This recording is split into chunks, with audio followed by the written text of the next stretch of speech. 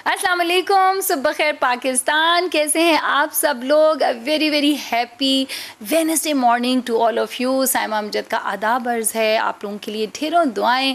अल्लाह पाक से यही दरख्वास्त है दुआ है कि आप लोगों की जो आज की मॉर्निंग है आज का जो दिन है बहुत ही ब्लेस्ड हो बहुत ही कामयाबियों और खुशियों वाला हो। आ, कल हम सुनते रहे कुछ अरसे से बल्कि चल रहा था उमर शरीफ साहब जो हैं वो काफ़ी अलील हैं और अब यही देखने में आ रहा है कि शायद जो है दुआएँ और अपीलें जो हैं वो रंग ले आई हैं, उनकी जो अहलिया हैं, उन्होंने कहा है कि जो जरी गज़ल साहिबा हैं, उन्होंने मीडिया से बात करते हुए कहा कि उनकी तबीयत अब कदरे बेहतर है, संभल गई है।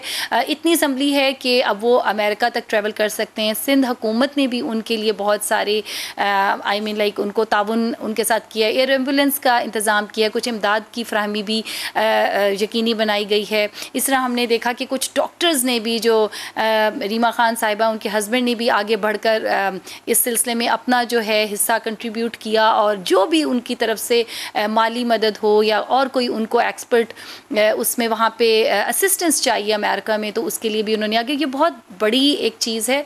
वाई बिकॉज़ कि as a nation we should acknowledge the efforts of those जिन्होंने कहीं भी पाकिस्तान की ब्रांडिंग में जो है किरदार अदा किया है। और उमर शरीफ साहब तो वो लेजेंड है जिन्होंने हमेशा हमारे चेहरों पर मुस्कुराहटें बखेरी हैं और अब ये वक्त है कि हम एज अ नेशन उनको एक्नॉलेज करें, उनको ओन करें और उनके लिए दुआ करें।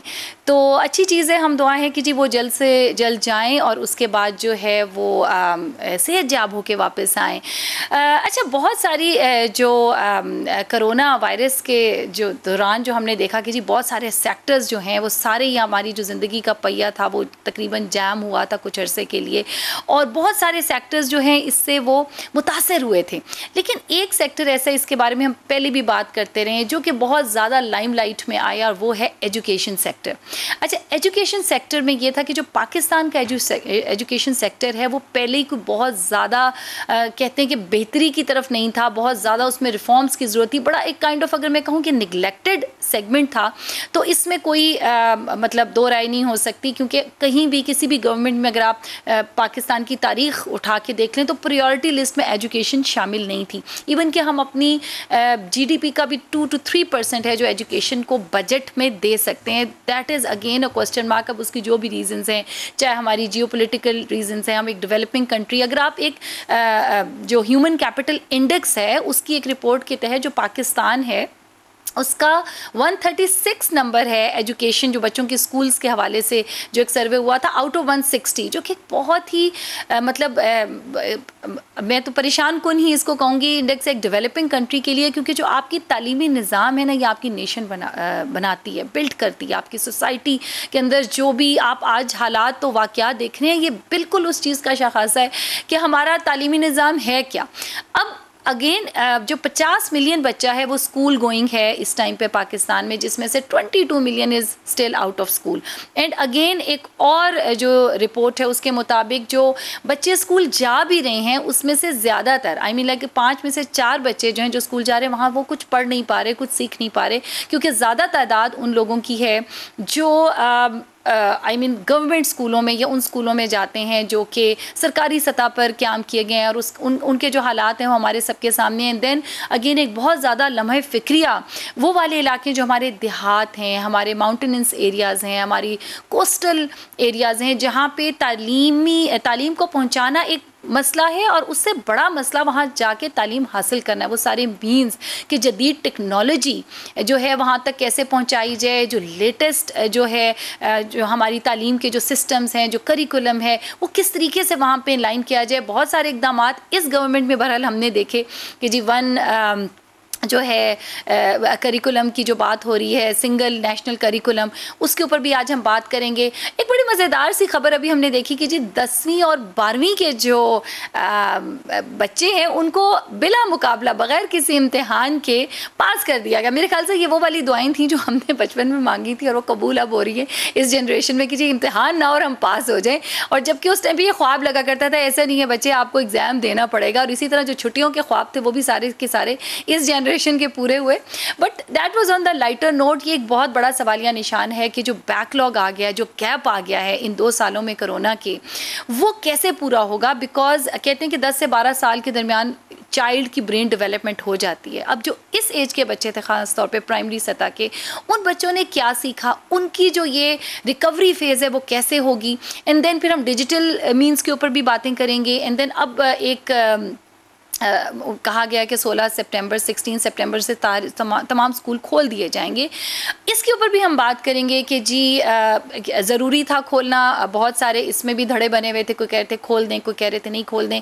और एक ये चीज़ भी है कि ये यूनिवर्सल जितनी भी ग्लोबली इसका इम्पैक्ट आया इट्स नॉट इन पाकिस्तान अगर हम ये कहेंगे जी खाली पाकिस्तान में मुतासर हुए कोरोना से एजुकेशन सिस्टम तो ऐसा बिल्कुल भी नहीं है। अगर आप स्टेटिस्टिक्स देखें तो जो डेवलप्ड कंट्रीज़ हैं उनको भी इन्हीं मसाइल का सामना एग्जैक्टली इसी तरीके से पेश आया, जैसे कि हमें आया। बट अगेन हम देखेंगे कि जी क्या रिफॉर्म्स हैं, क्या बेहतरी इन जनरल आ सकती है एजुकेशन सिस्टम में, और क्या और इकदाम ऐसे किए जा सकते हैं कि इसको मज़ीद बेहतर बनाया जा सके।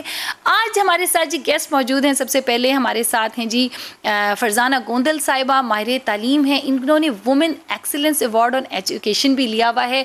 बहुत सारे सरकारी अहदों पर विद रिस्पेक्ट टू एजुकेशन उन्होंने अपने फ़राइज़ अंजाम दिए हैं। Thank you so much Farzana for coming uh, उनके साथ जी हमारे पास बैठी हैं बख्तावर महमूद ये भी एक एजुकेशनिस्ट है। डिजिटल साइट के ऊपर इनकी एक बहुत एक्सपर्टीज़ हमें अवेलेबल होगी। और ये उस uh, हवाले से गुफ्तु करेंगे कि जो डिजिटल uh, जो मीन्स थे उसमें हम कितने कामयाब हुए और कितने। और ये पब्लिक स्पीकर भी हैं प्रोफेशनल मॉडरेटर भी हैं। तो thank you so much Farzana for joining in to discuss such an important topic और इसके साथ जनाब हमें ज्वाइन किया है कराची से सैयद तारिक शाह साहब ने, जो माहिर तालीम तो हैं ही हैं। ये chairman all private schools association Sindh के उसके अलावा भी इन्होंने बहुत सारी जिम्मेदारियाँ बहुत सारे अहदे जो हैं निभाए और इनके साथ बड़ी मज़ेदार सी गुफ्तु रहेगी। काफ़ी सारी इनकी भी काविशें हैं जो कि जो स्कूल आज खुल गए हैं और ये ओपन हो गए इन लोगों ने बहुत ज़्यादा मेहनत की तो thank you so much Tariq. आपने हमें ज्वाइन किया कराची से। तो सबसे पहले हम आपसे शुरू करते हैं। कैसे आप? First of all thanks for joining in today नहीं आपका बहुत शुक्रिया कि आपने ऑन बोर्ड लिया इस अहम मौजू के ऊपर हमें और आप सबको गुड मॉर्निंग और अस्सलाम वालेकुम। थैंक यू अच्छा ये मुझे बताएँ, सबसे पहले तो ये जी स्कूल खुल रहे हैं सिक्सटीन ऑफ़ सितंबर से। तो आप मुझे ये बताएँ कि क्या स्कूल्स प्रिपेयर हैं? फिफ्टी परसेंट अभी इसके अंदर होगी अटेंडेंस उन्होंने कहा जी आएँगे। अब ये जो फिफ्टी परसेंट अटेंडेंस है, इसके अंदर किस तरीके से स्कूल मैनेज करेंगे लेकर के अपने करिकुलम को? क्योंकि आगे तो हमें याद है कि हम पूरे के मतलब हंड्रेड परसेंट अटेंडेंस के साथ भी जो करिकुलम कवर करना था, जो हमारा एक बेंच होता था वो बड़ा मसला बना हुआ होता था लास्ट मंथ्स में। तो अब जब 50 परसेंट अटेंडेंस होगी तो how will schools manage that जी, बिल्कुल देखें, एक तो एक चीज़ ये है कि हम, हमारे पाकिस्तान के अंदर आफ्टर कोविड जो है, अब एक यूनिफॉर्मिटी नहीं रही। वो इस तरह से, क्योंकि सिंध में स्कूल्स खुल चुके थे पहले ही, और अब जो है वो पंजाब में ऑब्वियसली उसके बाद बंद हुए अब दोबारा इंशाल्लाह खुल जाएँगे स्कूल्स तो एक यूनिफॉर्मिटी ये तो है ही नहीं। सेकेंडली चीज़ ये है कि अब ये न्यू नॉर्मल बन चुका है तालीमी इदारों का कि 50 परसेंट स्ट्रेंथ के साथ अब तालीमी इदारे खुल जाते हैं और एस ओ पे इम्प्लीमेंटेशन कैसे करनी है। जैसे ए पी एस के वाक्य के बाद एक हमारा नॉर्मल बन चुका था कि हमें सिक्योरिटी मेजर्स लेने हैं बच्चों के exactly. और गार्ड्स रखने हैं सिक्योरिटीज का इंश्योर करना है। इसी तरह अब आफ्टर कोविड या ड्यूरिंग कोविड जो है वो अब एस पे इम्प्लीमेंटेशन भी स्कूल के एक रेगुलर एक एक एस बन चुके हैं। तो इनशाला सिक्सटीन से जब पंजाब में स्कूल खोलने जा रहे हैं तो बहुत बेहतर तरीके से तालीमी इदारे नज़र आएँगे। अच्छा इसमें जो बच्चे आएँगे तारिक मेरा सवाल आपसे ये कि इसमें बच्चे सारे वैक्सीनेटेड होंगे क्योंकि पहले तो सुन रहे थे कि पेरेंट्स भी वैक्सीनेटेड होंगे पेरेंट्स का भी वैक्सीनेशन सर्टिफिकेट इज़ रिक्वायर्ड तो is is that true how will you manage and ensure कि इसमें जो है बिल्कुल हंड्रेड परसेंट कॉम्प्लायंस आए जहाँ तक एस फॉलो करने की बात है? देखिए एस ओ जहाँ तक फिजिकली इम्प्लीमेंटेशन की बात है वो तो इनशाला हो जाएँगे हंड्रेड परसेंट लेकिन जहाँ तक बात पेरेंट्स की वैक्सीनेशन की है तो वो procedure with the passage of time चलता रहेगा। क्योंकि एक स्कूल के अंदर अगर मिनिमम 400-500 बच्चे होते हैं तो दैट मीन्स कि आपको थाउज़ेंड जो है वो वैक्सीनेशन कार्ड जमा करने तो एक बहुत लंबा ड्यूरेशन है। और इसके अंदर बहुत सारे हमें रिफ्यूजल भी सामने आएँगे। बहुत सारे पेरेंट ऐसे होंगे जो वैक्सीनेटेड नहीं होंगे। वो टाइम लेंगे कि हम वैक्सीनेटेड हो जाएँगे। फिर वो पहली वैक्सीन लगवाएँगे फिर दूसरी वैक्सीन लगाएँगे तो उसके अंदर एक ऑब्वियसली एक, एक वैक्सीनेशन टाइम भी होता है। वो भी कवर करना होगा। इसके साथ साथ जहाँ तक आपने निसाब की बात की थी कि कैसे कवर होगा तो वो देखें इसको लास्ट ईयर भी जो लास्ट सेशन था उसको स्क्वीज कर दिया गया था जो मतलब इसको मॉडिफाई किया गया ना? मॉडिफाई किया गया था कम किया गया था ताकि जो वर्किंग डेज़ जो बच्चों को कम मिल रहे हैं उसमें बच्चे उतना ही पढ़ सकें जितना टाइम हमारे पास अवेलेबल है। हम्म। तो क्या हम ये, अभी एक वक्त हुआ जाता है एक छोटे से कमर्शियल ब्रेक का तो हम इस पे ये बात करेंगे कि क्या ये कॉम्प्रोमाइज़ है उस नॉलेज के साथ जो हम बच्चे को एक सेट देना चाह रहे थे? एंड विल इट इफ़ेक्ट जो ओवरऑल एक इन्वायरमेंट है? क्योंकि ऑलरेडी भी हम इस सिलसिले में बात करेंगे, हमारे साथ रहेगा वक्त हुआ जाता है एक छोटे से कमर्शियल ब्रेक का। वेलकम बैक जी सुबह खैर पाकिस्तान में बात हो रही है कोरोना वायरस और उसके जो असरात मुरतब हुए हैं हमारे एजुकेशन सिस्टम के ऊपर उसके मतलब आपकी तरफ़ चलते हैं फरजाना गोंदल साहिबा आप मुझे ये बताएँ कि आप जो हैं गवर्नमेंट के बहुत सारे इदारों में माशाल्लाह बहुत अरसे से अपने जो है फ़रज़ अंजाम दे रही हैं। अच्छा जो गवर्नमेंट स्कूल्स हैं उनके ऊपर बहुत सारे आई मीन सवालिया निशान है उनका जो स्टैंडर्ड है वो कहीं मैच नहीं करता। और हमारी जो सोसाइटी है बहुत धड़ों में जैसे वैसे बटी हुई है तो ये जो एजुकेशन सिस्टम है ना ये भी तीन चार किस्म के लोग जो ह्यूमन रिसोर्स है पैदा कर रहे हैं हमेशा से बात हुई मदारस वाला एक सरकारी स्कूल है और एक प्राइवेट स्कूल है। अब जो सरकारी स्कूल है इसमें जो है आप मुझे बताएँ कि इसके अंदर क्या इस इसको मजीद कितना इफ़ेक्ट किया कोरोना ने? पहले तो आप ये बताएँगे या ये पहले से इतना इफेक्टेड था कि उसको खास ज़्यादा फ़र्क नहीं पड़ा? Because that is a perception जो अवाम में पाई जाती है। जी जी। पहले तो Saima thank you so much कि आपने मुझे एज अ माहिर तालीम कॉल किया। और मुझे इम्पोर्टेंस थी कि मैडम को बुलाना है और नहीं, नहीं, उनकी जो राय है वो लेनी है। अब मैं आपके क्वेश्चन की तरफ़ आऊँगी। ऐसा है कि देखें जो कोविड है वो सिर्फ़ पाकिस्तान का जो है वो इस वक्त प्रॉब्लम नहीं है। जो कोविड है वो इस वक्त ऑल ओवर द वर्ल्ड चल रहा है और अब हमें मतलब अपना देखें basic thing is the mindset of the people exact हमें अपना माइंड सेट जो है वो कोविड के साथ जो है वो प्रिपेयर करके हमें चलना है और बना लेना चाहिए कि जी ये साथ साथ ही अब चलेगा। बिल्कुल। तो जिस तरह भी ये हालात चल रहे हैं हमारे यहाँ हमारे ज़ाहिर है आपने कहा कि गवर्नमेंट सेक्टर में बहुत ज़्यादा डिटोरेटिंग पोजीशन है। Exactly. तो आ, ऐसी बात नहीं है। मैंने अपने एक्सपीरियंसेस के उस पर देखा है कि हमारे यहाँ बहुत अच्छे प्रिंसिपल्स हैं हम्म। और प्रोफेशनल्स हैं। बिल्कुल। जी मैंने प्राइवेट सेक्टर को भी डील किया है। मैंने फेडरल डायरेक्टरेट ऑफ़ एजुकेशन में रहते हुए मैंने गवर्नमेंट सेक्टर को भी देखा। लेकिन मैंने ये देखा है कि गवर्नमेंट सेक्टर में जो इस हैं वो प्रोफेशनल्स हैं। यानी उनके पास ट्रेनिंग है इसकी एम एड है बी एड है पी एच डी हैं एम फिल्स हैं। तो उनमें कमी नहीं है लेकिन जो मटीरियल है जो बच्चा है वो ज़ाहिर है आपको तो एज अ मतलब गवर्नमेंट एम्प्लॉई आपको वहाँ बच्चे को वो कहते हैं जी कि आप झोंपड़ी से भी बच्चा उठा लें आप वर्कशॉप से भी लेकर आए। तो देखिए जब आप नहीं गवर्नमेंट का थोड़ा सा मैं आप की बिल्कुल बात इस चीज़ में ये मेरा मेरी रिजर्वेशन ये थी कि जी आपने बिल्कुल कहा कि एम है बी है। जी, अच्छा जी. बहुत सारा जैसे like I been into corporate sector उसमें ये होता था कि जो बच्चे सरकारी स्कूलों से पढ़ के आते थे हम्म। उनके पास दो दो मास्टर्स होते थे। बी भी होते थे but they can not even speak a word में इंग्लिश की भी बात नहीं करी।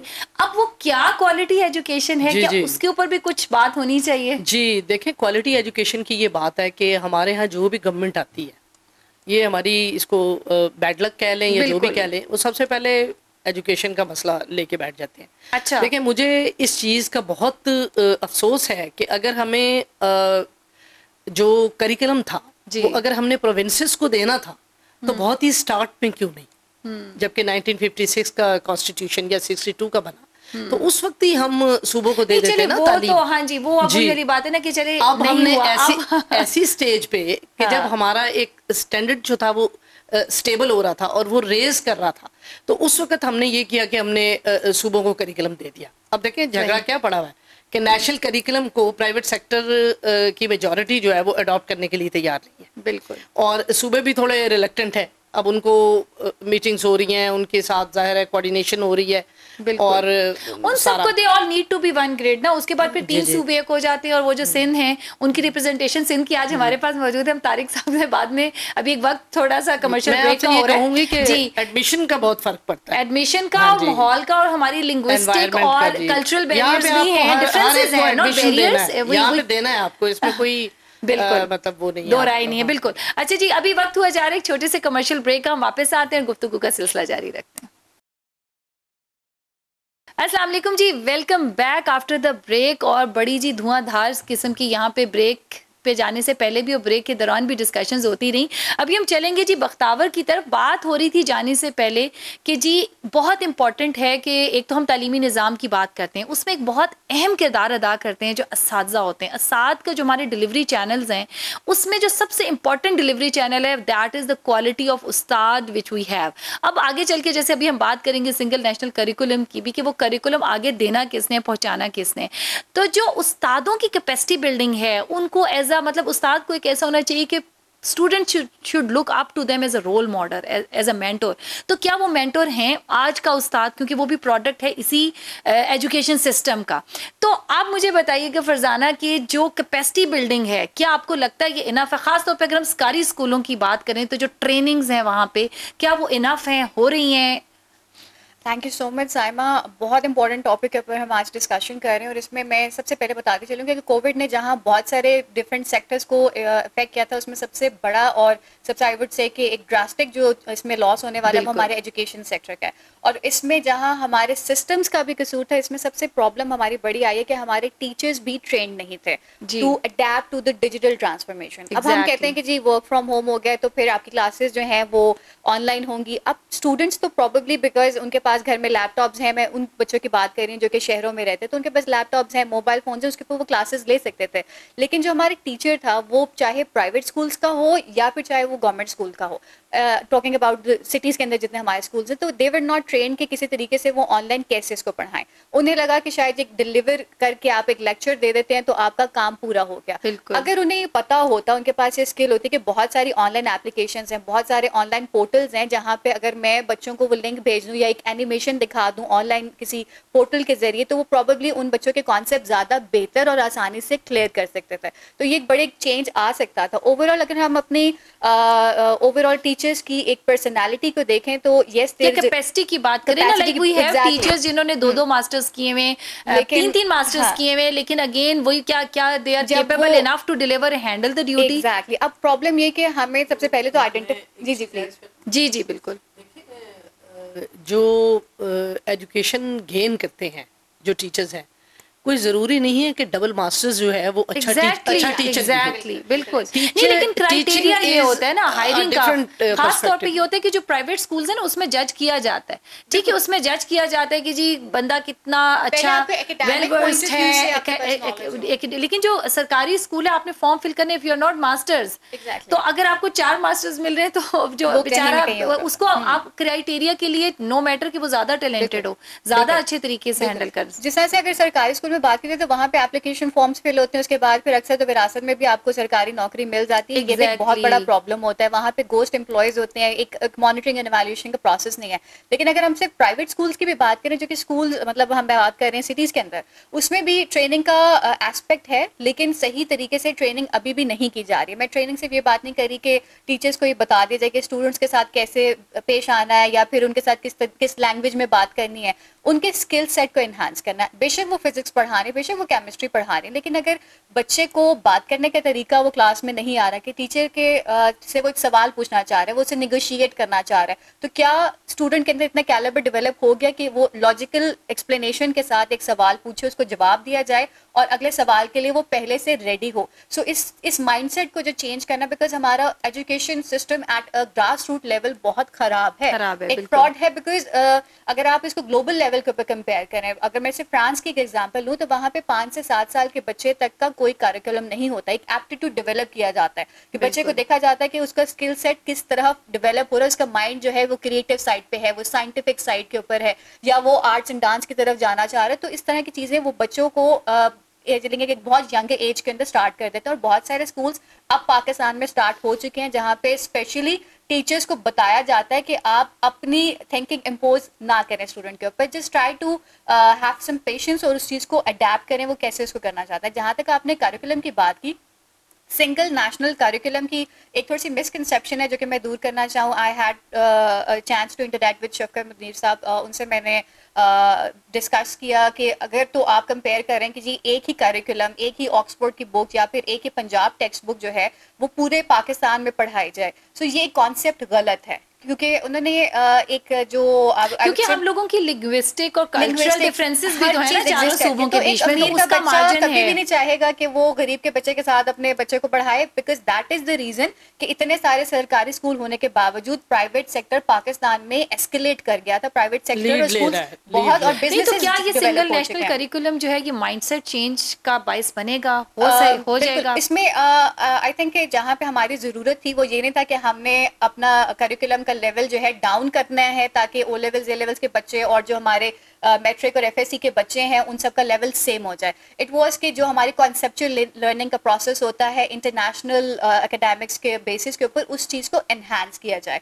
और उसमें थिंकिंग ये है कि एक, अगर सिंध का एक बच्चा किसी स्कूल में, किसी गाँव में बैठ के पढ़ रहा है तो उसको कम अज कम फिफ्थ क्लास तक टेंथ जो के जो टेबल है टेंथ का टेबल जो है वो आना चाहिए से फिफ्थ क्लास तक की इम्प्लीमेंट हुआ है ना इनिशियल जी अच्छा हम अभी मैं आप लोगों की तरफ़ वापस आते हैं। तारिक साहब जी होना चाहिए। होना चाहिए। हाँ तारिक साहब को हम इन लूप में लेते हैं। अच्छा जी तारिक साहब सिंध में बहुत एक शोर गौगा है जी के सिंगल नेशनल करिकुलम जो है तीन सूबों में इसका इतलाक हो चुका है और सिंध वाले अभी भी कुछ अभाम और रिजर्वेशन हैं वो इसको नहीं। तो क्या वजह है? सिंध क्यों नहीं इसको इम्प्लीमेंट होने दे रहा? क्या रिजर्वेशन है आपकी?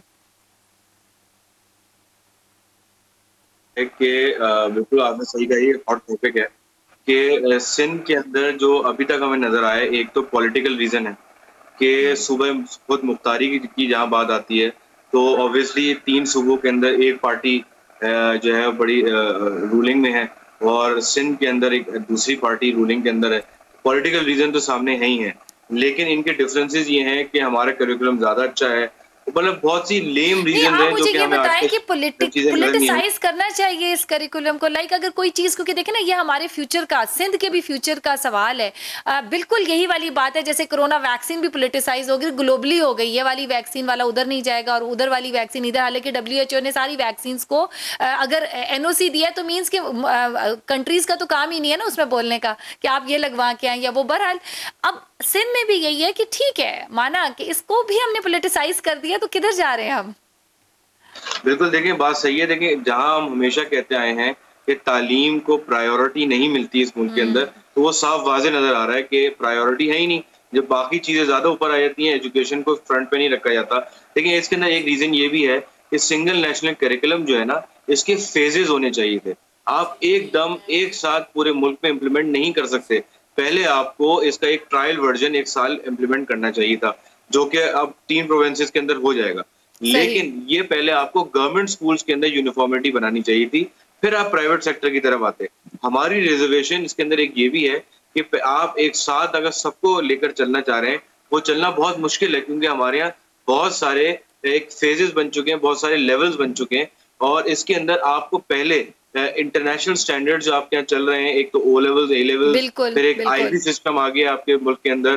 तो अब इन इन सिनेरियोज के अंदर अगर आप इस सिंगल नेशनल करिकुलम को इम्प्लीमेंट करवाते हैं तो आप उस लेवल पर है ही नहीं अभी कि आप इंटरनेशनल बॉडीज को सवाल आ रहा था कि ये किस तरीके से इम्प्लीमेंट होगा क्योंकि साल के तो तीन महीने बाकी रह गए। ठीक है एक तो वो जो इम्प्लीमेंट जहाँ हुआ है वो कैसे इसको लेकर के चलेंगे? और दूसरा ये है कि जो टेक्स्ट बुक्स हैं अब जो लो कॉस्ट स्कूल्स की हम बात करें जो देहातों में स्कूल है वहाँ तो पेरेंट्स लेने को तैयार ही नहीं थे ये बुक्स कि जी उनको ये एक्सपेंसिव पड़ा था और कुछ लोगों ने जिन्होंने ली उसमें भी कुछ गलतियाँ थी मिसप्रिंट्स थे और बहुत सारी चीज़ें उस लेवल की नहीं थी तो ये भी तो कुछ टीदिंग इश्यूज़ आ रहे हैं। इनके साथ फिर हम कैसे डील करेंगे। बिल्कुल देखिए बात यही था जो मैं आपसे कह रहा था कि ट्रायल वर्जन पे एज अ मॉडल इस साल होना चाहिए था। जो लोग वॉलंटरली अडॉप्ट करना चाहते हैं वो कर लेते हैं। बाय फोर्स करने में यही सिनेरियोज हैं। ये बुक्स तो आप मिस्टेक्स कह रही हैं बुक्स तो टाइमली अवेलेबल ही नहीं थी जब सेशन स्टार्ट हुआ। तो exactly. तो वहाँ तो एक एक अजीब सा कियोस था। स्कूल्स को कहा जा रहा है कि आप इम्प्लीमेंट करें। बच्चे जब खरीदने जा रहे हैं बुक्स तो बुक्स भी नहीं मिल रही। अगर वो खरीदना चाह भी रहे हैं तो बुक्स नहीं मिल रही। तो ये सब फेजेस के अंदर चीज़ें होती तो बेहतर तरीके से शायद हो पाता। लेकिन अभी भी वक्त है इसके अंदर बहुत चीज़ें मैकेनिज्म बनाया जा सकता है। और single national curriculum as a as a theme कह लें या एज अ फीलिंग कह लें एक अच्छी चीज़ है कि अगर एक प्रोविंस से दूसरे प्रोविंस अगर बच्चा जा रहा है तो उसको वो एक एजुकेशनल डिफरेंस नज़र ना आए वो बासानी ट्रांसफ़र हो सके एक प्रोविंस से दूसरे प्रोविंस में तो ये फीलिंग तो अच्छी है और उसका कॉन्सेप्ट भी अच्छा सही है। लेकिन इसको बेहतर तरीके से ठीक है तारिक साहब हम इस पे बातचीत करते हैं एक छोटे से कमर्शियल ब्रेक के बाद। वालेकुम जी वेलकम बैक सुबह खैर पाकिस्तान के साथ। साइमा अमजद आपको खुश आमदीद कहते हैं एक दफ़ा बात चल रही है जी टॉपिक है और है कि हमारी जो एजुकेशन सिस्टम है उसको कोरोना ने कितना इफ़ेक्ट किया क्या रिफॉर्म्स होनी चाहिए और क्या हो रही हैं।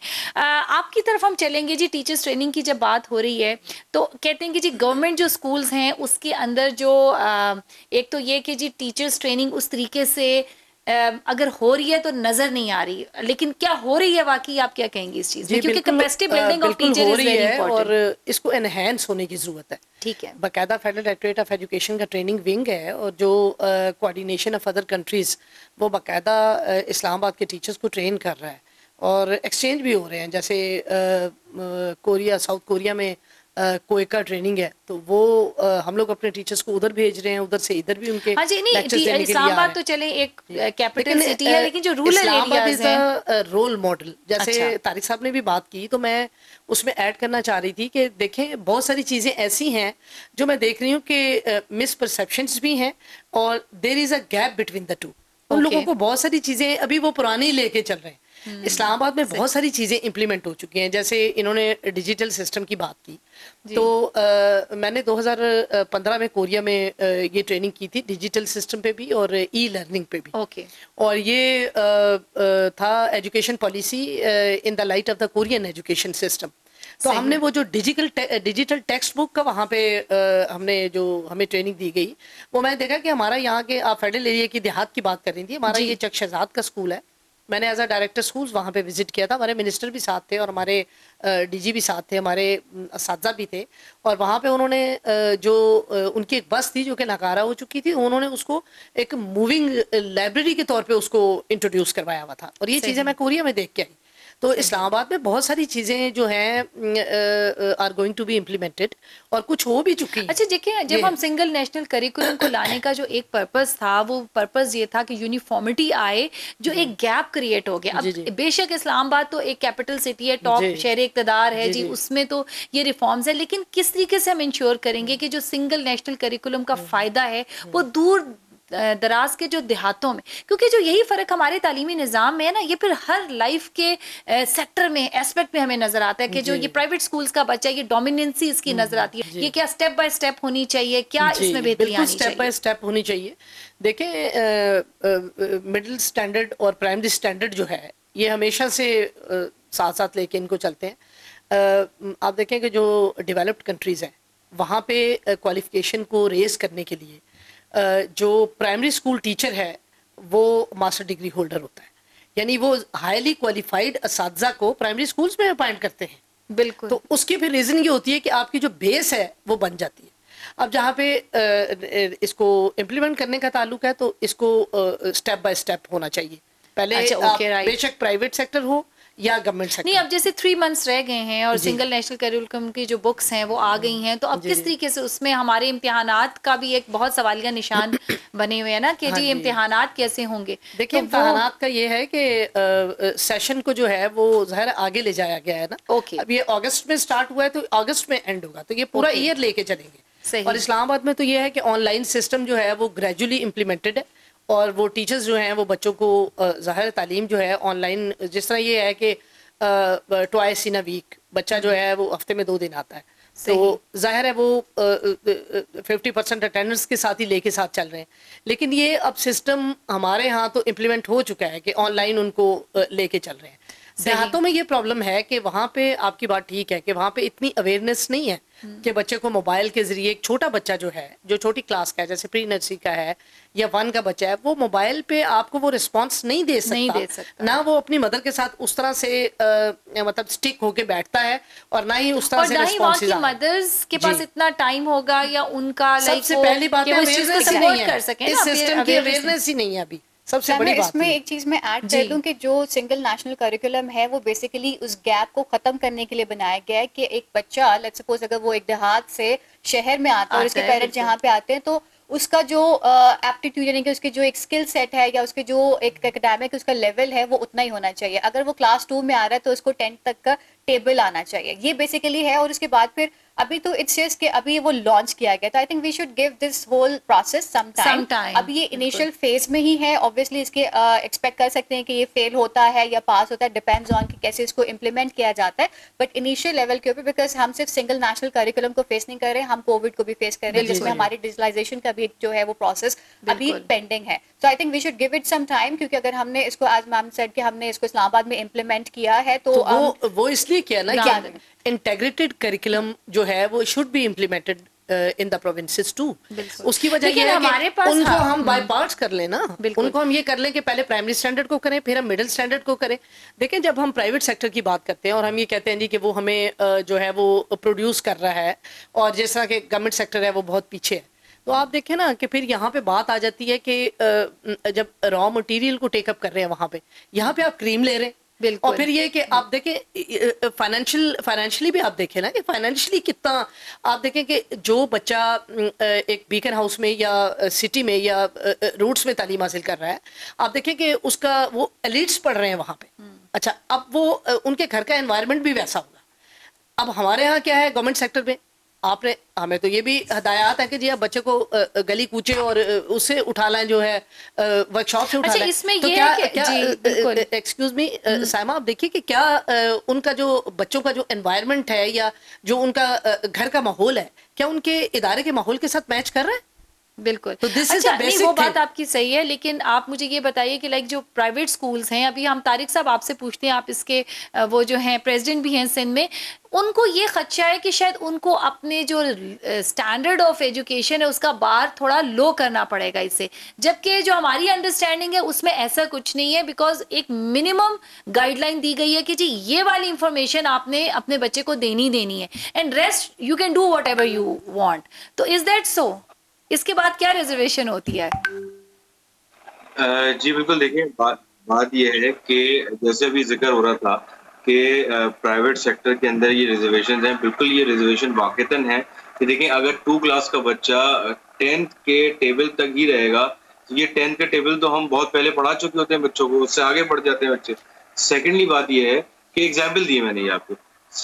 दूसरी बात यह है कि जो मिनिमम करिकुलम तो बताया गया है लेकिन उसकी अकॉर्डिंगली बुक्स भी पब्लिश हो रही हैं। और उस बुक्स को लाजमी करार दे दिया गया है कि आप अपने स्कूल्स के अंदर उसको इम्प्लीमेंट करेंगे। जब आप वो बुक्स जो अप्रूव बुक्स हैं, उनको इम्प्लीमेंट करेंगे तो फिर आप ऑब्वियसली अपने स्टैंडर्ड्स को थोड़ा सा नीचे ले जाएँगे, जो कि हम नहीं चाह रहे कि हमारा बच्चा इससे ज़्यादा पढ़ रहा है। लेकिन दूसरी बात यह है कि यहाँ कोड किया गया इलीट स्कूल्स को। लेकिन मैं ये भी बताता चलूँ कि हमारे यहाँ वराइटी ऑफ़ प्राइवेट स्कूल है।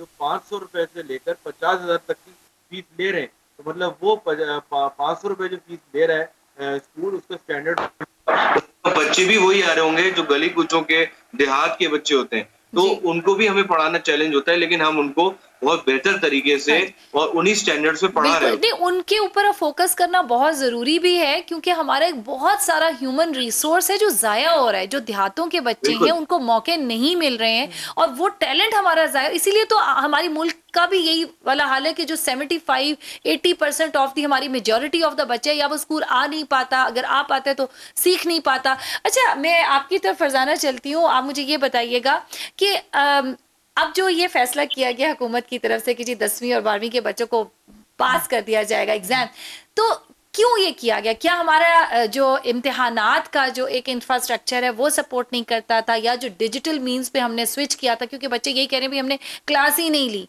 तो हम पेपर किस चीज़ का दें? या क्लासेस हो रही थी ऑनलाइन तो कहते हैं हमारे से आप एग्ज़ाम भी ऑनलाइन ले पेपर भी ऑनलाइन ले। अब हम्म। हम पेपर ऑनलाइन नहीं लेना चाहते और फॉर ऑब्वियस रीजन क्योंकि ज़ाहिर है उसमें बहुत सारी चीज़ें मौजूद है। तो क्या हम कहेंगे कि ये एज ऑफ़ नाउ तो डिजिटल जो स्विच आया था एजुकेशन का उसका फेलियर है? देखें स्विच ऑफ़ तो इसको नहीं किया जा सकता लेकिन बात यह है कि इनको ग्रेजुअली पैरेलल लेके चलना पड़ेगा। देखें इसमें है तो कोविड का ही सारा असर। कोविड की वजह से ये सारा जो डिस्टर्बेंस हुई है वो उसी की वजह से हुई है। अब शुरू में तो हमें भी समझ नहीं आ रही थी। ज़ाहिर जैसे मिनिस्ट्री कहती थी कि जी इदारे बंद करते हैं तो इदारे बंद हो गए। इदारे खोल दें इदारे खोल दिए। अब ज़ाहिर है ऑनलाइन चल चले आप ऑनलाइन चल लिए। अब ऑनलाइन के बाद ये आप इम्तहान जो है ऑनलाइन नहीं दे दें तो देखिए ये चीज़ें फिर बच्चे का तो छोटा सा माइंड है। नहीं तो लेकिन अगर disturb तो ये कॉन्फिडेंस है कि जो आपके डिजिटल मीन्स हैं उन्होंने एक एजुकेशन दे दी है हम्म। उसने इंश्योर कर दिया है कि बच्चे को इतना अब उसके अंदर नॉलेज है तो उसको असेस करने का भी तो कोई मैकेनिज्म डेवलप हमें करना चाहिए ना डिजिटली मेरा ख्याल है कि ये वही मैंने शुरू में आपसे बात की थी कि basic thing is the mind set of the people अब चूँकि हमने कोविड के लिए थोड़ा थोड़ा माइंड सेट अपना बना लिया है तो उसके लिहाज से मेरा ख्याल नेक्स्ट ईयर तक ये चीज़ें जो है ग्रेजुअली और हो जाएँगी। हम आपसे अच्छा एक हाँ चीज़ में। एक क्वेश्चन का मैं हर तरफ़ से बात हो रही थी तो मैं उसको ज़रूर मैं मेंशन करूँगी। वो ये है कि देखें प्राइवेट सेक्टर की और गवर्नमेंट सेक्टर की डिटोरेटिंग पोजिशन की और प्राइवेट सेक्टर की अप्रेजिंग की बात होती रहती है। आप देखें कि जो ये करिकुलम इंटेग्रेटेड करिकुलम है, उसको मिडिल स्टैंडर्ड तक तो इम्प्लीमेंट प्राइवेट सेक्टर में भी किया जा सकता है। जहाँ तक ओ लेवल्स और ए लेवल्स की बात है, आप देखें कि इसमें जो ये इदारे हैं, ये ज़ाहिर है कि हमें कंपेटिटिव एग्जामिनेशंस में जो फॉरेन कंट्रीज़ हैं, उनके साथ ला के बिठाते हैं। अब देखें आप प्राइवेट सेक्टर इस लिहाज से लीड भी ले रहा है और वो जो मटेरियल प्रोवाइड कर रहा है वो आप देखें जैसे सी एस एस के इम्तहान है। उसमें आपने भी ज़िक्र किया कि। हमारे यहाँ बच्चे जो है वो बड़े लायक होते हैं डबल मास्टर्स कर जाते हैं लेकिन इंटरव्यू में रह जाते हैं। लेकिन ये बच्चे निकल जाते हैं। तो फिर एक ऐसी क्वालिफिकेशन जो कि हम अपने बच्चे को पढ़ाने के लिए बाहर भेजते हैं। अगर वो पाकिस्तान में अवेलेबल है तो उसकी मुखालफत तो हम नहीं कर सकते। उन दोनों चीज़ों को पैरल लेके चले लेकर के चलना है because at the end of the day हमने देखना चाहिए कि what product are we developing to for Pakistan जी के जो ह्यूमन रिसोर्स है वो हम डेवलप क्या करें? जिसके साथ ही वक्त एक छोटे से कमर्शियल ब्रेक का हमारे साथ रहिएगा।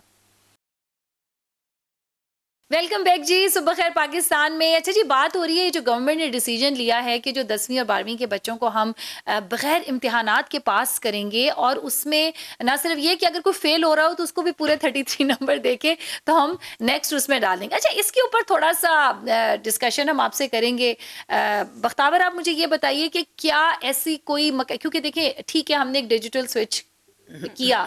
आई मीन लाइक जो नॉर्मल एक एक मोड से हम दूसरे मोड पे थोड़ा टाइम भी लगता है but it's been two years now 2020 is towards its end तो क्या कोई ऐसा मकैनिज्म डेवलप नहीं हो सकता था कि जो हम इम्तहानात का जो एक टिपिकल और एक हमारा स्टीरियो टाइप एक मैकेनिज्म बना हुआ है कि जी आने आपने लंबे लंबे ऐसे लिखने हैं पाँच सवाल हैं एक चॉइस में छोड़ना है। क्या कोई एम या कोई एनीथिंग जैसे हम देखते हैं कि अगर आप किसी भी बड़े उसमें यूनिवर्सिटी में जाएँ उनके जो ऑनलाइन पेपर्स होते हैं बड़ी स्मार्टली डिज़ाइन किए गए हुए होते हैं। उनके अंदर आपको चॉइस अवेलेबल होती है आंसर भी बीच में क्योंकि वो एक्चुअली आपके माइंड गेम्स और माइंड साइंसेज आपको जज करे। तो क्या ऐसा कोई मैकेनिज्म होना चाहिए था या ये इजी वे आउट है कि जी चलो आप सबको पास करके ताकि कोई. नाराज़ नहीं हो ना? बिल्कुल। अच्छा नहीं असल में ये कि इसमें डिजिटलाइजेशन का भी इतना कसूर नहीं है जितना हमारे एजुकेशन सिस्टम का प्रॉब्लम है। अगर हम बच्चों को शुरू से ही कॉन्सेप्चुअल लर्निंग के ऊपर लाए हुए होते और उनसे कहते कि इट डज नॉट मैटर कि आपने चार लाइनों का एक ऐसे हमें हर पैराग्राफ लिख के देना है उसकी जो जो है स्टार्टिंग लाइन द से वो उसका एंड लाइन जो है ना स्टोरी के ऊपर आ रहा है अगर हम इस तरह ना ट्रेन करते हम बच्चों को कहते हैं कि अगर आपको एक फिजिक्स का एक बेसिक कॉन्सेप्ट समझ आ गया मुझे अपने लफ्जों में आसान तरीके से बताओ और उसको असेस करने का सबसे आसान तरीका है कि आप उनको मल्टीपल चॉइस क्वेश्चन देते हैं आप उनको फिलिंग द ब्लैंक्स देते हैं आप उनको एक एनिमेटेड जो है उनसे बना। के देते हैं जिसकी बेसिस के ऊपर वो बताएँ कि उनका कॉन्सेप्ट क्लियर है। अगर तो ये स्विच पहले आ चुका होता तो फिर तो डिजिटल में बहुत आसानी थी। मैं एक दफ़ा इसको दोबारा क्लियर कर दूँ कि बहुत सारी अपॉर्चुनिटीज़ बहुत सारे प्लेटफॉर्म्स एग्जिस्ट करते हैं अभी भी जहाँ पे हम लोगों से मतलब यानी कि स्टूडेंट्स को और टीचर्स को लेके आ सकते थे विद इन वेल मतलब शुरू के कोविड के टाइम में। अगर टीचर्स को इतनी ट्रेनिंग दी गई होती कि वो कंप्यूटर में ईमेल के लॉग इन करते थे अपने जूम के अकाउंट्स बना लेते या साइन इन करने का उनको तरीका आता। और ये सिर्फ़ मैं अगेन शहर स्कूल के लिए नहीं कह रही देहात में भी ये कि अगर इनकी ई लाइब्रेरीज बनी हुई हैं इनके कंप्यूटर लैब्स बने हुए तो वहाँ पे भी कि टीचर जाके अपने लॉग इन कर लेता और स्टूडेंट वहाँ बैठ के अ, अपने यानी कि करिकुलम को सुन तो लेगा वो जूम से या जिस भी प्लेटफॉर्म से। है लेकिन जब टीचर उससे जवाब मांगेगा तो अगर वो उसके पास इलेक्ट्रॉनिक ऑप्शंस आएँगे वो उसको अपने कॉन्सेप्चुअल लर्निंग के बेसिस से जवाब देगा तो एक बेहतर तरीका होता। अब जहाँ पे हम बात करें कि जी करिकुलम के ऊपर बहस हो रही है आई वुड से कि curriculum is is it is important but उसके साथ साथ जो आपने ओवरऑल बच्चे का कॉन्सेप्ट इम्प्रूव करना है क्योंकि at the end of the day जब उसने मार्केट में जाना है तो उससे ये कोई नहीं पूछेगा कि तुम्हें किरचॉफ के तीन लॉ पता है उसको से पूछा जाएगा कि क्या तुम इस तार को दूसरी तार के साथ कनेक्ट कर सकते हो? ये इसका पहला सवाल होगा। तो वो जो प्रैक्टिकल लर्निंग है वो ऑन ग्राउंड हमारी कभी एग्जिस्ट की ही नहीं है। बाहर के मुल्क अगर हम बात करें तो बहुत सारे ऐसे डिग्री प्रोग्राम्स होते हैं जहाँ पे आई वुड से कि इवन यूएस की universities they are asking students कि आप घर से पढ़ें लेकिन जो आपका प्रैक्टिकल वर्क है वो आप हमें करके दिखाते हैं। वहाँ पे हो सकता है कि बच्चे को बचपन से ट्रेन किया हुआ है कि मैं अपना uh, जो है जिम्मेदार खुद हूँ मुझे खुद पढ़ना है। वहाँ पे ये नहीं कि टीचर ज़बरदस्ती सबको कहकर टीचर्स या पेरेंट्स फोर्स करें नहीं exactly, तुम ये करो करो। ऊपर वही आता है जो करना चाहता है ना एटीन ईयर्स के बाद तो सब आज़ाद तो ये एक बहुत चीज़ है कि जो क्रीम है वो निकल के आ जाती है। साइमा जो। प्रैक्टिकल वर्क है वो यहाँ आप फिर कहेंगी कि वो बात मैम जो है वो रोल मॉडल की करती हैं और इस्लामाबाद की लेकिन चूँकि अवेयरनेस नहीं है और मिस परसेप्शन है इसलिए मुझे उनको क्लियर ज़रूर करना है कि आपने मुझे कॉल हाँ किया। ज़रूरी है ये हमारे प्रैक्टिकल स्कूल्स भी हैं यहाँ पे जहाँ पे ये ट्रेनिंग दी जाती है हमारे इस्लामाबाद में है। लेकिन वही बात आ जाती है कि वो उनको एनहेंस करने एनहेंस करने की ज़रूरत है यानी दो है या तीन दो है या तीन है वो कितनी आबादी का परसेंटेज हाँ है जो उनसे मुस्तफीद हो सकता है? इसमें एक चीज़ है कि जो हम बात कर रहे हैं ना कि कॉन्सेप्चुअल लर्निंग की डिजिटलाइजेशन की तो आई वुड से कि एफएससी के बाद से बच्चे के अंदर इतना एक कैपेसिटी आ जाती है ड्यूरिंग मेट्रिकुलेशन उसके पास इतनी कैपेसिटी है कि अगर उसको टीचर का कोई कॉन्सेप्ट समझ नहीं आ रहा तो खान अकेडमी टाइप बहुत सारे डिजिटल प्लेटफॉर्म्स हैं यूट्यूब चैनल्स हैं जहाँ पे वो एनिमेशन के साथ साथ खुद सेल्फ लर्निंग भी कर सकते हैं। लेकिन ये वही लोग करेंगे जो करना चाहते हैं बहुत सारे जो करना चाहते हैं रिसोर्सेज अवेलेबिलिटी भी है। ना जिनके पास होगी वो करेंगे। वो करेंगे बिल्कुल। अच्छा तारिक साहब हम आपसे पूछते हैं कि एक तो ये आप बताइए कि ये किस तरीके से देख रहे हैं हुकूमत के इस फैसले को जो आप लोगों की काफियों का नतीजा है कि अब 16 सितंबर से खुल रहे हैं सारे स्कूल तो क्या इंश्योर कर पाएँगे आप सारी एसओपीज और हुकूमत ने भी इसको कोई जज करने का, जो मॉनिटरिंग का कोई क्राइटेरिया रखा है इसमें? जी जी, बिल्कुल। देखें एसओपीज हम पहले भी इम्प्लीमेंट करते आए हैं सिंस जो वेरी स्टार्ट जब स्कूल जब पेंडेमिक आया था तो इनशाला स्कूल्स को रिलीजियसली जो है, वो फॉलो करेंगे। और गवर्नमेंट ने ज़रूर अपनी इंस्पेक्शन टीम्स तश्कील दी हैं। Even assistant commissioner deputy commissioner जो है वो भी स्कूल्स में आके इंस्पेक्शन करते हैं। तो वी होप के बेहतर रहे मामला और और तालीम का सिलसिला कंटिन्यूशन के साथ जारी रहे। लेकिन इसमें जो आपने एग्ज़ाम्स वाले डिसीज़न की बात की, देखिए उसके अंदर बात यह है कि हमारी रिजर्वेशन ये है कि अभी टाइम था। आप देखें सेग्रीगेटेड होकर, ज़्यादा सेंटर्स बनाकर एग्ज़ाम ज़रूर लेने चाहिए, क्योंकि देखें विदाउट एग्ज़ाम अगर आप बच्चों को पास आउट कर देते हैं तो उनको आप इजी मींस फराम कर देते हैं। बेशक मैं कहता हूँ कि आप एक घंटे का पेपर लें। बेशक आप एक घंटे के एमसीक्यू पेपर लें लेकिन आप कुछ ना कुछ, कुछ पेपर कुछ लें तो जाके उनको ये हो कि हम जज किए जाएँगे हमारा रिज़ल्ट आएगा उसके अकॉर्डिंगली होंगे। लेकिन अगर देखें ये दूसरा साल है पंजाब के अंदर अगर इस तरह पास करते रहेंगे ये तो बहुत हमारे बच्चे जो है आगे जाके डिजास्टर का शिकार होंगे। और अभी भी मैं आपको बताऊँ अभी भी अभी भी जॉब अपॉर्चुनिटीज़ जो आ रही है उसके अंदर साफ़ लिखा हुआ है कि कोविड के दौरान जिसने जो भी डिग्रीज ली हैं वो एक्सेप्टेबल नहीं है। तो ये इम्पैक्ट आगे जाके बहुत डिजास्टर की तरह नज़र आएगा। तो हमें एग्ज़ाम्स लेने चाहिए और अभी भी गवर्नमेंट को चाहिए कि नेक्स्ट फ़ेज़ के अंदर इसको प्लान करे। और ये अच्छा डिसीज़न है कि अब दो फेजेस के अंदर एग्ज़ाम लिए जाएँगे। ये बहुत अच्छा है कि मिड टर्म्स भी होंगे फिर फाइनल भी होंगे ताकि अगर खुदा ना खास्ता अगर ऐसी सिचुएशन होती है कि आगे जाके फाइनल एग्ज़ाम नहीं ले पा रहे हैं बोर्ड के एग्ज़ाम तो मिड टर्म्स को कंसिडर किया जाएगा। ये एक अच्छा स्टेप जी। जी जी, आप क्या कह रही, मैं कह रही थी कि जैसे ये कह रहे हैं कि एग्ज़ाम्स जो है तो वो मिड टर्म के जो एग्ज़ाम्स हैं उन्हीं को एवेलुएट किया गया है फाइनलाइज करने के लिए। सही उस तरह से बिल्कुल ही नहीं कि आगे चढ़ा दिया गया। चढ़ा दिया जाए हाँ क्योंकि ज़ाहिर है अभी ये एक फ़र्स्ट स्टेप है और हुकूमत की इस चीज़ को ये देखना चाहिए कि एटलीस्ट इन्होंने सोचा जैसे कि अभी बख्तावर आपने भी कहा कि एटलीस्ट हमें थोड़ा टाइम देना चाहिए इस चीज़ पे। किसी ने सोचना शुरू किया अभी हम सब मिल करके बैठेंगे। सबसे बड़ी जो इंपॉर्टेंट चीज़ ये है कि तमाम सूबों अच्छा तारिक साहब आपके से एक छोटा सा सवाल जाते जाते कि क्या आप ये देख रहे हैं कि आइंदा कुछ एक म्यूचुअल इसका सोल्यूशन निकल आएगा को हल निकल आएगा और जो सिंध भी एसएनसी की तरफ़ हम जाता देख रहे हैं उसको। कुछ इसके इसके लिए कोशिशें हो रही हैं हुकूमती सतह पे? कोशिशें हो रही हैं कोशिशें हो रही हैं और फेडरल गवर्नमेंट और स्टेट गवर्नमेंट की मीटिंग भी अब तवातुर से हो रही है। लेकिन इसके अंदर मैं मेरा सिर्फ़ मैसेज ये है दोनों गवर्नमेंट्स को कि आपको दिल बड़ा रखना पड़ेगा। आपको दोनों के फेजेस जो हैं अगर सिंध गवर्नमेंट की कोई रिजर्वेशन है सिंध गवर्नमेंट की करिकुलम पे कोई रिजर्वेशन है तो आप दोनों साथ बैठे और उसको रिजोल्व करें। अमेंडमेंट कभी भी लाई जा सकती है। कोई ऐसी चीज़ तो है नहीं कि ये एक, एक बना दी गई है उसको अमेंड नहीं किया जा सकता। तो अभी भी बैठ के अमेंड किया जा सकता है ताकि फिर एक यूनिफॉर्मिटी कायम करने के लिए दोनों बैठकर काम करें और एक पॉजिटिव चीज़ों के साथ सामने बिल्कुल बिल्कुल। जी अच्छा फरजाना, बस अब हमारे पास जो है टाइम थोड़ा कम है। आप जाते जाते क्या महसूस करती हैं कि हुकूमती सतह पे कौन से ऐसे इकदाम होने चाहिए या हो रहे हैं जो गोइंग फॉरवर्ड हमें इसका कुछ ज़्यादा आसान और बेहतर हल दे पाएँगे जो एजुकेशन सिस्टम की रिफॉर्म्स की अगर हम बात करें आपसे? देखें सामा इसमें जो फैक्टर इन्वॉल्विंग होते हैं फेलियर के भी और सक्सेस के भी, इसमें जो चीज़ हमने सारे डिस्कशन की, उसमें एक चीज़ एग्जाम्प्टेड है।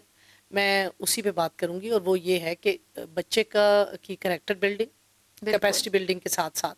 करेक्टर बिल्डिंग और जो पाकिस्तान स्टडीज़ और इस्लामियात की तालीम है हम्म। वो आ, हमारे इदारों से तकरीबन हजफ हो गई है।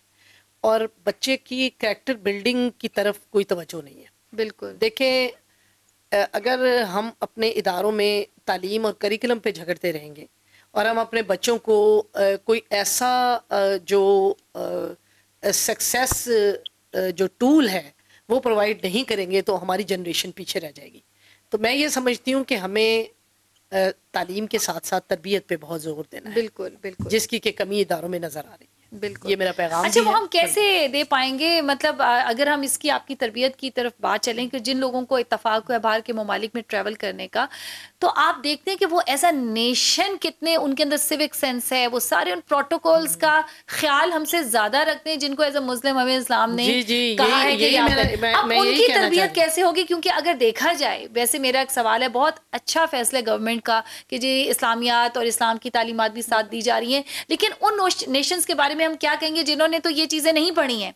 इस्लाम के बारे में भी इतना नहीं पढ़ा लेकिन वो हमसे बेहतर मुसलमानों के अंदर जो करेक्टरिस्टिक्स होनी चाहिए वो उनके अंदर मौजूद है। असल में अगेन उनका एजुकेशन सिस्टम ऐसा है जो डेवलप कर रहे हैं देखिए हमारे यहाँ जो बेसिक एजुकेशन है जैसे देखें कायदे आज़म मोहम्मद अली जना या अलामा इकबाल जो हैं उनकी माएँ तो हमारी तरह तालीम याफ्ता नहीं थी। जी जी। लेकिन देखें वो आ, किस जगह पे पहुँचे सही असल में बेसिक जो एजुकेशन है वो माँ की गोद से और घर के एनवायरमेंट से लेके बच्चा आप देखें कि ये बहुत ज़रूरी है कि मुझे घरों में भी इस चीज़ का एहतमाम किया मैं इतनी अफसरदा होती हूँ उस वक्त जब मैं स्टेज शोज़ में अपनी नई जनरेशन को ये कहते हुए सुनती हूँ कि उन्हें ना अपने मिनिस्टर एजुकेशन का पता होता है हाँ, उन्हें अपने प्राइम मिनिस्टर का नाम नहीं आता। बच्चों से नहीं बड़ों का भी यही हाल। मैं आपको बताऊँ उन्हें हिस्टोरिकल बैकग्राउंड की जी बिल्कुल बिल्कुल thank you so much Farzana. हम जाते जाते बख्तावर आपको मैसेज देना चाहें क्योंकि बिल्कुल हमारे पास वक्त शॉर्ट है। मैं सिर्फ़ एक चीज़ लास्ट में कहते चलूँगी कि the pandemic is not over yet ठीक है? अभी नहीं खत्म हुआ और वी नेवर नो कि आगे आने वाली क्या चीज़? है तो अभी भी टाइम है कि जिन जिन सिस्टम्स ने स्पेशली हमारे ट्रेनिंग ऑफ़ द